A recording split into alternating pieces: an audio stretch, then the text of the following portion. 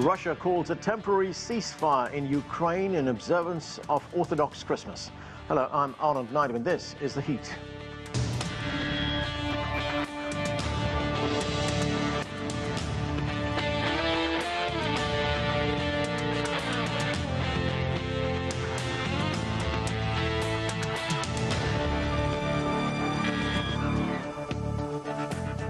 Russian President Vladimir Putin ordered his military to carry out a 36 hour ceasefire on the front lines of Ukraine for Orthodox Christmas and urged the Kiev government to do the same. Putin's announcement came just hours after the head of the Russian Orthodox Church called for such a ceasefire to allow Orthodox Christians to attend services. On Thursday, the Turkish President uh, Recep Tayyip Erdogan spoke with the Russian President and Ukrainian President Volodymyr Zelensky in separate phone calls in an effort to find a diplomatic solution. That's the latest. Now, for more on the Russia-Ukraine conflict, let's bring in our panel. Joining us from Maryland is Michael O'Hanlon. He's a senior fellow and director of research in foreign policy at the Brookings Institution. Here in Washington, D.C., Anton Fedyashin is a Russian affairs expert and professor of history at American University. From Providence, Rhode Island, Vladimir Golstein is the chair of the Department of Slavic Studies at Brown University, and Pavlo Kukhta, who in 2020 served as the acting Minister of Economic Development, Trade and Agriculture in the Zelensky government. He joins us from Kiev. Thank you, everyone, for joining us. Pavlo, um, the Russian president has ordered this 36 hour ceasefire to mark the Orthodox Christmas. The initial um, order came from the head of the Russian Orthodox Church. What is the Ukrainian response to it?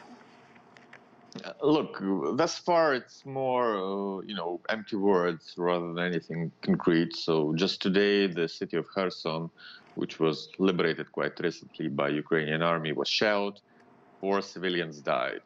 There is combat across the front lines. So whatever Moscow is saying, as is usual with it, uh, its words are cheap, so it doesn't really hold.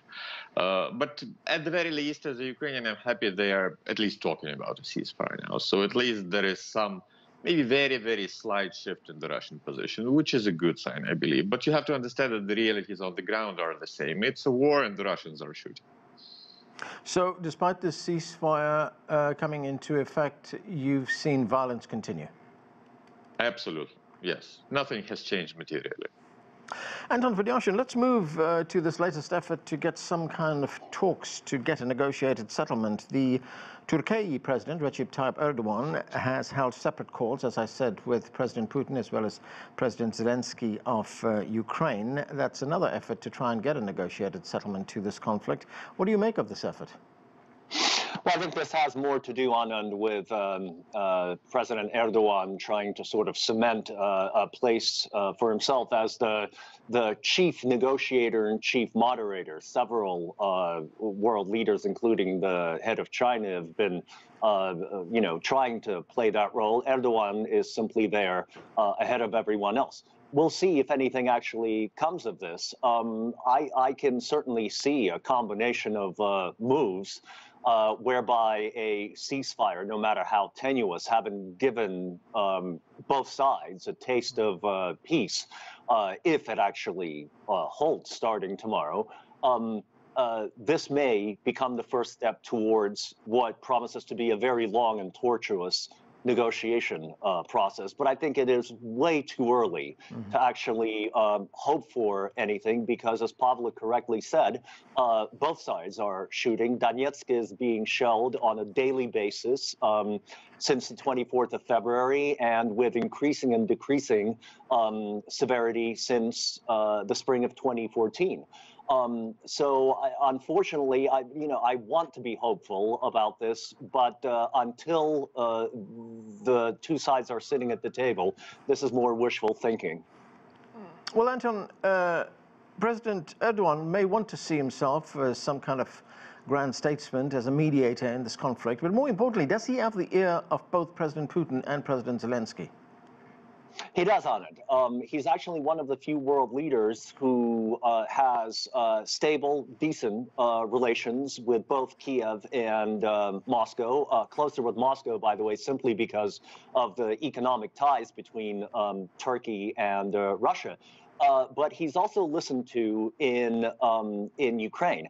Ultimately, of course, it, it's not the moderator who will make the the you know the final contribution. It will be the two sides uh, when they decide to sit down at the negotiating table. And so far, I haven't seen um, much of a desire on either side to actually sit down and start dealing with each other. Michael O'Hanlon, what is your view on this latest effort to achieve a negotiated peace uh, in this conflict?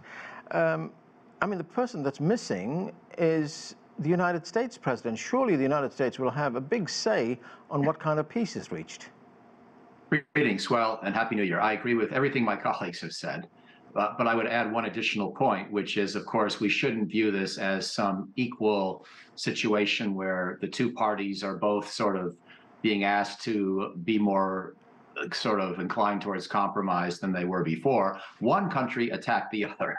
It's really just that simple, and it's important to remind ourselves and our viewers of that simple fact. Russia is still sitting on about 17% of Ukrainian territory, and Russia started this war. Those two facts haven't changed and won't change. And so I can't really blame Ukrainian friends for saying, sure, we'll talk peace as long as Russia gets all the way off all of our territory and agrees to pay reparations and have war crimes uh, trials for those who have killed our citizens. Having said all of that, that's probably not a realistic endgame. Mm-hmm. And the United States is, as you suggest, going to have to start thinking about what kind of nudge it might give to Ukrainian friends in the course of this upcoming year to try to do things like, let's say, joint sovereignty for certain disputed territories, or some kind of a new security architecture that would help protect Ukraine without bringing it into NATO. We're going to have to be creative on this front. I'm not sure today or this month is quite the moment, mm. but pretty soon it will have to be the moment. And I think the United States will have to, as you as you imply, uh, start being a little bit more assertive, a little more creative in how it plays a role in the diplomacy as well. Michael, as you say, Russia is sitting on 17% of Ukrainian territory, and that uh, is not going to change now or in the near future. That sounds like it's going to make any kind of peace settlement extremely elusive because Russian President Vladimir Putin has said as well that the Ukrainians have to accept these, what he called territorial realities on the ground. Yeah, well, I would say a couple of things uh, without giving any kind of succor to Vladimir Putin, mm. uh, who I think you know deserves moral and political responsibility for this war. Having said that, the reality is that it's going to be very hard for Ukraine to win back Crimea or Eastern Donbass with any kind of military offensive that I can envision. And so, what are the fallback options? One might be some kind of joint sovereignty, like we've seen, for example, in parts of Bosnia with the Brčko corridor that both Serbs and Bosniaks uh, claim simultaneously, but they agreed to outsource control and administration to uh, a local government. And both sides continue to maintain their claim of sovereignty. But in practical terms, it was a group made up of equal numbers of different ethnic groups who ran the place. That's the kind of model. Or you could say, let's have a referendum on Donbass or Eastern Donbass, but let's have it in 2040 and you just get it to a point where neither Putin nor Zelensky nor anybody else who's currently involved in this uh, dispute is likely to be around in a lead leadership position. So you try to essentially change the conversation, delay the resolution. Those are the kinds of creative ideas I think we're going to have to consider. Vladimir Golstein, Russia recently suffered a devastating strike by Ukrainian forces, losing up to 89 of its troops. In fact, uh, that's the Russian figure. Ukraine says that figure is closer to 400 troops that Russia lost. Um, is the Kremlin right now under any kind of pressure to get to the negotiating table? Well, Russians always wanted to get to the negotiating table, but I think the situation is who they're going to talk to and what are the terms of negotiation? Because you know what what we have to avoid is taking this myopic view that this is only about 17% of Ukrainian territory as Michael said. This is not quite the case. We should look at the map of Eastern Europe and look at the expansion of NATO. That's how Russia look at look at it. And you know I, I suspect like you know bigger junk of Eastern Europe now has NATO forces, and Russia was very much concerned with it. So basically, Russians have to negotiate, and that was the, the, the very beginning with NATO countries, and you know, as uh, you know, guest noticed, Biden and Americans are not interested yet in negotiating about these issues, about addressing Russian security concerns. So I think just narrowing it down to particular place on the map while dismissing this bigger picture is, is not quite correct. So uh, that's how Russians feel about it, and they'll be more than happy to negotiate to make sure that there is a secure peace for everyone concerned, including people in Donbass, including pe people in Kiev and Lviv, and including people in, in Eastern Europe. But not when NATO expands and threats increase and when uh, United States declares that their purpose is to weaken Russia by all means possible. So, you know, how can Putin negotiate on these terms? What about those proposals that Michael mentioned a moment ago about the possibility of uh, defusing the crisis right now, but having a referenda of some kind in the future in these disputed territories like Crimea, like the Donbass? I think are important, uh, important things to do, but it's also, as I said, you know, one of the you know, bones of contention was precisely this expansion of NATO. And, you know, NATO took this very aggressive position saying it's not our concern, it's let Ukrainians decide. So until Russians hear something very, very concrete about, you know, say, you know, not just Donbass, but about Western Ukraine and so on.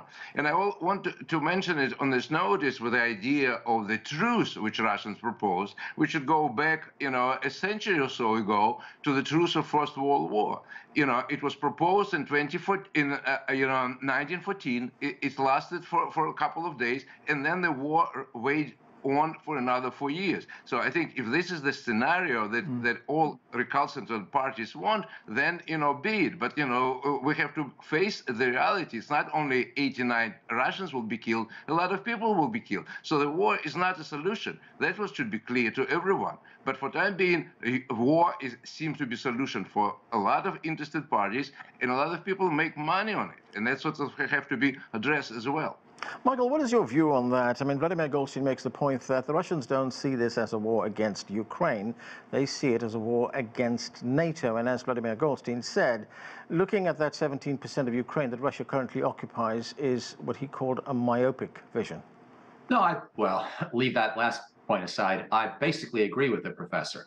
I think that this has to be seen in the context of what's been happening in Europe over 30 years. And frankly, I have always been a critic of NATO expansion uh, in the way it's been done, not because I think it justifies this Russian aggression, and not because I think that all Russian critiques of NATO expansion were legitimate or accurate, but because we could we could have George Kennan and Mikhail Gorbachev and others identified an element of Russian strategic thought that was bound to get very prickly and very defensive and and maybe even a little paranoid about this kind of a policy. And I wrote a book five years ago proposing a different security architecture for Eastern Europe in which Ukraine and Georgia would not be part of NATO, but also that Russia would have obligations to take its forces off of Ukrainian territory and stop supporting the separatists and stop acting as if it had a right to determine the sovereign future of those countries. Mm-hmm. So, yes, I, I, think we have to see this in a broader context. And I do not favor bringing Ukraine into NATO in the future. I've been writing with a colleague, Lise uh, Howard, about how we should think of a new security architecture, even at this point, that would be designed someday even to include Russia, not while Putin's president, but some future day. Keep NATO in the meantime, figure out ways to help Ukraine stay stable and secure after any peace we may obtain. But don't try to bring Ukraine into NATO because that's just bound to irritate Russians. It's just the way Russians look at the world. And frankly, uh, even though I don't agree with their worldview, I think I can understand it because if Canada was trying to join the Warsaw Pact, we'd be pretty upset too. Pavlo, uh, let's look at the situation uh, in the conflict right now. The United States and Germany have agreed to supply Ukraine with uh, powerful new armored infantry vehicles. Um, Germany has also said that it will boost Ukraine's air defenses. All this has been announced just in the past few days. Uh, how does that change the battle? Uh, look, I divide the this issue in two, right? The air defenses are essentially a measure to protect the civilian population, because what Russia has resorted to in the recent months is uh, something akin to terrorist tactic. They try to take out the electricity grid in Ukraine, to leave people without power, to cause as much mayhem and destruction and suffering as possible, to probably, in their view, force the population to accept their demands or whatever. Though they are mostly having an adverse effect. Mm-hmm. It, it uh, you know, makes Ukrainians angry and uh, even less willing to to compromise with them. Mm-hmm. So, uh, but that's essentially a humanitarian measure. I'd look at it like mm-hmm. that, and it doesn't really uh, aggravate Russia in any way. Uh, as for the vehicles, yes, they help boost uh, the Ukrainian military. And I actually think that's a good thing now. And it's good that the West continues to provide these things. And I mm. think uh, they should continue to expand for the very basic reason that to end this war, uh, we need Russia either to uh, agree to some kind of stable peace arrangement, which would obviously require them to retreat from the territories they at least partially occupy right now, at the very least those taken after February 24th, after they invaded, or they have to push be, be pushed out of that. And mm. for that, Ukraine needs weapons. And as you know, the initiative is right now with the Ukrainian military. So we're slowly uh, pushing them out of the country, which is also a way to resolve this conflict, right? Essentially, beat them back and force them to the negotiating table. So I believe we are moving in the right direction in that regard, and I really hope to actually see peace in 2023. Granted, and there were quite a few problems raised with that here in this discussion, which were all quite correct, and there will be have to be some pretty tough and pretty inventive answers mm. uh, to those problems. But I think uh, we are getting there. So I am more and more hopeful with every day, actually. And I think the Western supplies are helping that process. So we are moving in the right direction. We're helping bring this conflict to a close.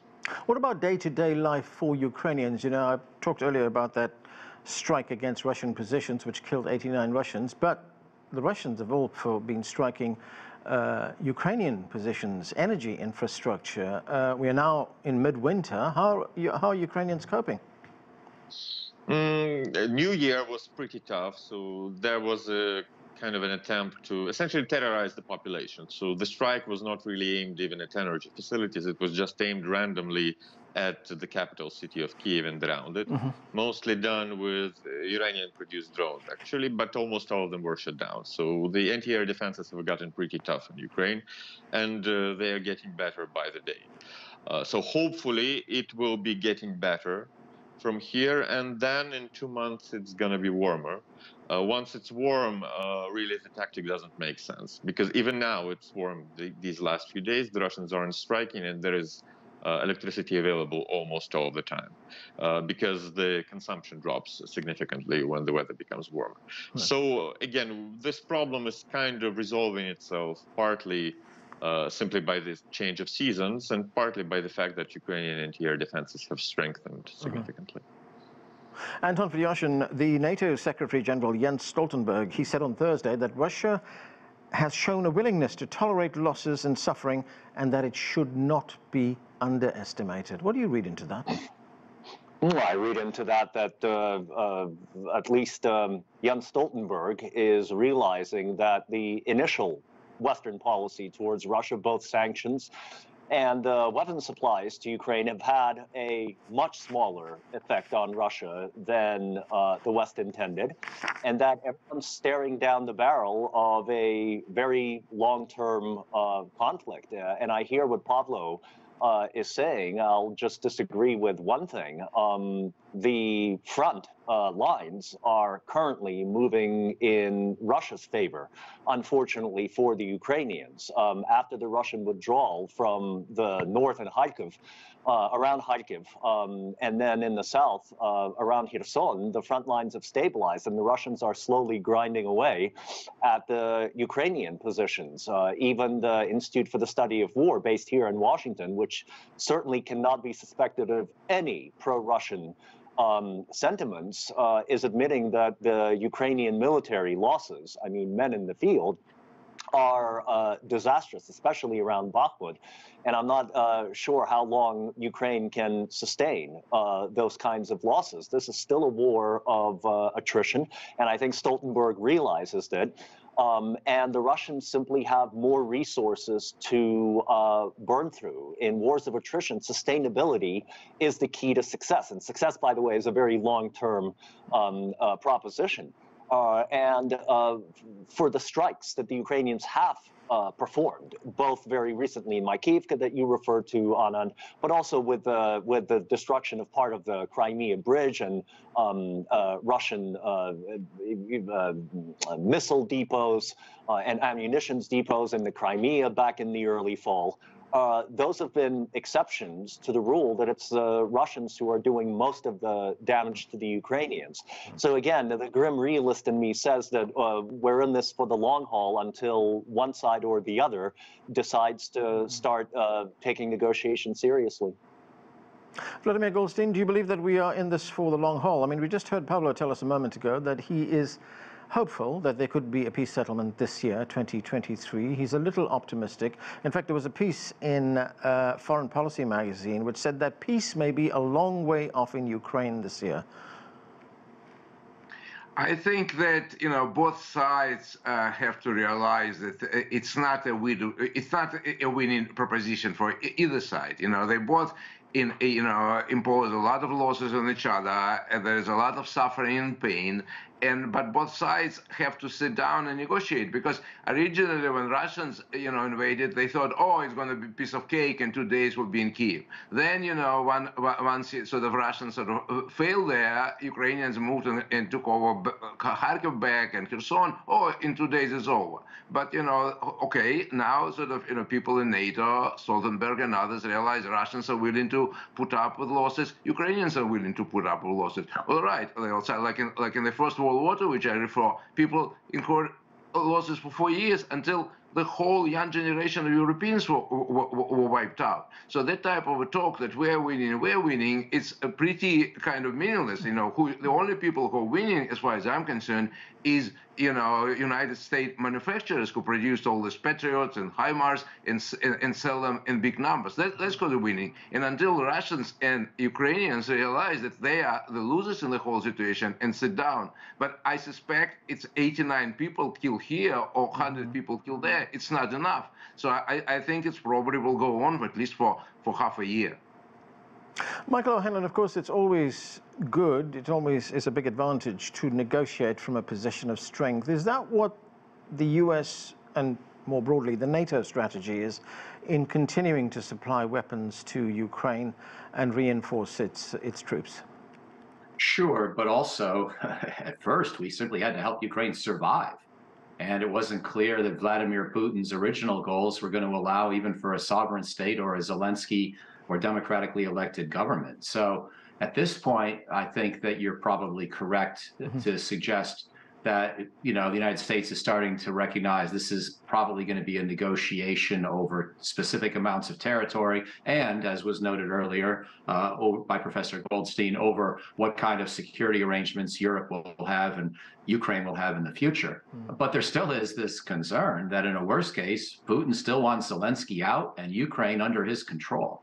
So it's not just about maximizing territorial gain. And by the way, at a moral level, Ukraine deserves all of its land back. Let me be unambiguous about that. I agree with most of my colleagues who have talked about the need for realism and the reality of military stalemate. And you heard me talk about some ideas for shared sovereignty or long term referenda earlier. Uh, but still, make no mistake, one country was attacked, the other country did the attacking. And there really isn't much moral ambiguity about this conflict. You can say we made strategic errors in the United States and in the West to expand NATO mm. uh, because our desire to sort of consolidate a Europe that was whole and free was done with some naivete about how Russians would view that. So you can criticize this if you want, but it was not done with evil intent. It was not done with aggressive or imperialistic intent. Putin's the one who's attacking Ukraine. So I can't really blame the United States and the West for wanting to help Zelensky liberate as much of his country as he can. That's not really just a tactical decision, it's also a moral position. Michael, is there a risk that this conflict in Ukraine right now could escalate to the point where it involves other European countries? There was a headline in the New York Times, I think just a day or two ago, which caught my attention, and that headline said in Romania, US troops train close to Russia's war in signal to Moscow. What does that signal?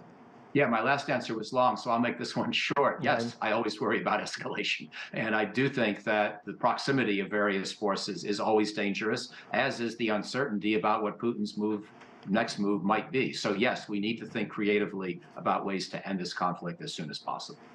Pavlo, um, we are, of course, in a new year, 2023. A United States Congress is just about to be reseated. Of course, there's a bit of difficulty among the Republicans in the House of Representatives. They still have to choose a leader. But there is a view among conservatives in the United States that once Congress is seated, once they get down to work, that aid to Ukraine needs to stop until the United States addresses its own domestic challenges. Are Ukrainians concerned about that? Mm, not particular. Again, I'm in touch with quite a few congressmen, and I really don't see that happening at all. There is a very strong bipartisan support for Ukraine. Yeah, there are some fringe voices, sometimes rather openly pro-Russian and declaring some really strange things, but otherwise, all the really serious politicians are, I think, backing U.S. support for Ukraine. So I, I don't really see that happening. No. Anton Fedyashin, there were reports not so long ago that with the onset of winter, the European winter that is, there would be something of a rethink on the part of European governments uh, on their support uh, for the continuation of this war. I mean, they would still support Ukraine, but just on the war, there might be a rethink. We have not seen that so far. No, we haven't. We've seen the shrinking of uh, European weapons supplies, but that's been going on for uh, months now, and it has nothing to do with winter. It has to do with the fact that the Europeans are literally running out of weapons and ammunitions to supply to Ukraine. Right. Um, I think the, the, the rethink is going to be happening this spring and summer as the, the full repercussions of the energy crisis are going to be hitting European economies. Right. Um, was the Belgian president, Alexander Kroo, who several months ago actually predicted that Europe faces about five, uh, five consecutive winters that are going to be tough. So right now, Europe is uh, living through the first bout of Yeah. the energy crisis. And unless this war is brought to an end and the sanctions are lifted on uh, Russia, I think the Europeans are going to be feeling the pain for years to come. So we'll see how that works out. Okay, that's where we have to leave it. Thank you to all of you for being with us. I'm Anand Naidu in Washington, D.C.